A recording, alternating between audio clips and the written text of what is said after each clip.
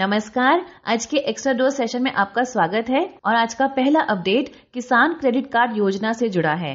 केंद्र सरकार ने किसानों को राहत देने के लिए एक बड़ा फैसला लिया है। खेती और किसानों के लिए सिर्फ़ चार परसेंट इंटरेस्ट रेट पर पैसा लेने के लिए जो किसान क्रेडिट कार्ड बनता है, उसे बनवाने के लिए लगने वाली सारी प्रोसेसिंग फ़ीस इंस्पेक्शन फ़ी और लेजर फोलियो चार्ज को अब खत्म कर दिया गया है। अगर कोई बैंक अब भी किसी किसान से ये चार्जेस लेता है तो उस पर कार्रवाई होगी। इस योजना के तहत तीन लाख रुपए तक का लोन मिलता है। पहले बिना गारंटी के एक लाख का लोन मिलता था, जिसे बढ़ाकर अब एक लाख साठ हज़ार रूपए कर दिया गया है। आइए किसान क्रेडिट कार्ड योजना के बारे में विस्तार से जानते हैं। भारत सरकार ने अगस्त 1998 में किसान क्रेडिट कार्ड योजना लॉन्च की, जिसकी ज़िम्मेदारी आरबीआई और नाबार्ड को सौंपी गई। किसान क्रेडिट कार्ड योजना का उद्देश्य बैंकों से किसानों को आसान तरीके से आर्थिक सहायता दिलाना है, ताकि खेती और ज़रूरी उपकरणों को खरीदने के लिए उनको पैसे से संबंधित कोई परेशानी न हो। अब जानते हैं किसान क्रेडिट कार्ड योजना में मोदी सरकार ने क्या बदलाव किए हैं। किसान क्रेडिट कार्ड योजना के तहत अगर आपके पास खेती करने के लिए ज़मीन है तो अपनी ज़मीन को बिना गिरवी रखे बिना भी आप लोन ले सकते हैं। बिना गारंटी के इस लोन की लिमिट पहले एक लाख रुपए थी, जिसे अब बढ़ाकर एक लाख साठ हज़ार रूपए कर दिया गया है। दूसरा, पशुपालन और मछली पालन वाले किसानों को भी अब किसान क्रेडिट कार्ड योजना के तहत दो लाख रुपए प्रति किसान की लिमिट से चार परसेंट के इंटरेस्ट रेट पर लोन मिलेगा, ताकि किसानों को साहूकारों से मुक्ति मिल सके।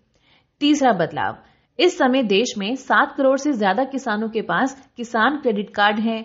इस योजना के तहत ज़्यादा से ज़्यादा संख्या में किसानों को लाभ पहुँचाने के लिए सरकारी बैंकों के सहयोग से किसानों को ये क्रेडिट कार्ड बनवाने में मदद कर रही है।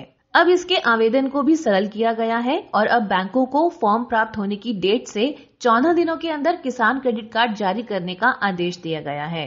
किसान क्रेडिट कार्ड योजना के तहत अलग अलग बैंकों द्वारा अलग अलग नाम से क्रेडिट कार्ड दिए जाते हैं, जैसे इलाहाबाद बैंक द्वारा Kisan credit card, bank of Baroda द्वारा B Kisan credit card, Punjab national bank द्वारा PNB Krishi card, state bank of India द्वारा किसान क्रेडिट कार्ड। आपको बता दें कि खेती और किसानी के लोन पर इंटरेस्ट रेट वैसे तो 9 परसेंट है, लेकिन सरकार इसमें 2 परसेंट की सब्सिडी देती है। इस तरह ये सात परसेंट हो जाता है। लेकिन समय पर लोन को लौटा देने वाले किसानों को तीन परसेंट की छूट और मिल जाती है। इस तरह इसकी दर ईमानदार किसानों के लिए सिर्फ़ चार परसेंट रह जाती है। कोई भी साहूकार इतनी सस्ती दर पर किसी किसान को कर्ज नहीं दे रहा है। इसीलिए अगर आपको खेती संबंधी खर्चों के लिए लोन चाहिए तो बैंक जाइए और किसान क्रेडिट कार्ड ज़रूर बनवाइए और इसके तहत आपको तीन लाख रुपए तक का लोन मिल जाएगा। Next update Tata consultancy services के अब तक के सफ़र से जुड़ा है। ऐसी बहुत कम ही कंपनीज़ होंगी जहाँ का स्टाफ अपने काम और मैनेजमेंट से खुश हो। लेकिन कुछ कंपनियाँ ऐसी हैं, उनमें से एक है देश की number one IT company Tata consultancy services यानी टीसीएस टाटा कंसल्टेंसी सर्विसेज़ को Fortune best big companies to work 2020 की लिस्ट में काम करने के लिहाज से बेहतर कंपनियों में शुमार किया गया है। सर्वे के हिसाब से कंपनी के 80 परसेंट लोगों ने वर्क और लाइफ में बैलेंस की बात कही है। इसके अलावा 72 परसेंट लोगों ने कंपनी को काम के लिए बेहतर जगह करार दिया है। आइए जानते हैं कैसे हुई टाटा कंसल्टेंसी सर्विसेज़ की शुरुआत और कैसा रहा अब तक का सफ़र। टीसीएस की नींव 1968 में पड़ी थी। टाटा ग्रुप ने एक स्टार्टअप के तौर पर इसकी शुरुआत की और शानदार तकनीकी विशेषज्ञ फकीर चंद कोहली को जनरल मैनेजर के तौर पर ज़िम्मेदारी दी गई, जो इससे पहले टाटा इलेक्ट्रिक कंपनी में जनरल मैनेजर के तौर पर काम कर रहे थे। इसके बाद 1970 का दौर आया और कंपनी को सरकार की ओर से सॉफ्टवेयर डिज़ाइन के काम मिलने लगे। इसमें टीसीएस को shares registry work provident fund accounting जैसे काम करने थे। 1971 में पहली बार कंपनी को देश से बाहर कोई काम मिला।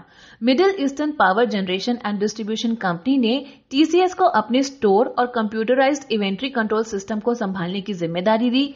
इसके बाद टीसीएस को लगातार ग्रोथ मिलने लगी। 1976 कंपनी के लिए बहुत खास साल साबित हुआ, जब उसने 1 मिलियन डॉलर का रेवेन्यू एक्सपोर्ट के ज़रिए हासिल किया। फिर 1979 में कंपनी ने देश के बाहर न्यूयॉर्क में अपना पहला ऑफ़िस खोला। भारत में भी टीसीएस ने टेक्नोलॉजिकल रेवोल्यूशन को आगे बढ़ाया। उदाहरण के लिए 1992 में जब नेशनल स्टॉक एक्सचेंज की शुरुआत हुई तो उसके ट्रेडिंग प्लेटफॉर्म को तैयार करने का काम टीसीएस ने ही किया। 2001 में टीसीएस को स्टेट बैंक ऑफ़ इंडिया की 13,000 ब्रांचेस और सात अन्य सहयोगी बैंकों के कोर बैंकिंग सॉल्यूशंस का काम मिला। ये भारत का सबसे बड़ा बैंकिंग सॉफ्टवेयर प्रोजेक्ट था। इसके बाद कंपनी ने 2002 में चाइना में अपने काम को बढ़ाना शुरू किया। 2004 में टीसीएस ने जब बीएससी और एनएससी में अपना आईपीओ लॉन्च किया तो उसने शेयर बाज़ार में धूम मचा दी। आठ रुपए के साथ उस दौर में टीसीएस का शेयर सबसे ऊँचा था। 2012 में कंपनी ने 10 अरब डॉलर के रेवेन्यू को पार कर लिया। 2018 में कंपनी ने अपने 50 ईयर्स पूरे कर लिए। फ़िलहाल कंपनी 46 कंट्रीज़ की 149 लोकेशंस पर काम कर रही है। एक भारतीय कंपनी को इतने बड़े लेवल पर देखकर बहुत गर्व महसूस होता है। आपको टीसीएस का ये सफ़र कैसा लगा, हमें कमेंट्स करके ज़रूर बताएँ। यहाँ पर हमारा फेन पॉइंट एक्स्ट्रा डोज समाप्त होता है। आशा करती हूँ आपको ये वीडियो पसंद आई होगी। अगर वीडियो पसंद आई है तो ज़रूर वीडियो को लाइक और अपने दोस्तों के साथ शेयर कीजिए। वीडियो को देखने और हमसे लगातार जुड़े रहने के लिए आपका बहुत बहुत धन्यवाद।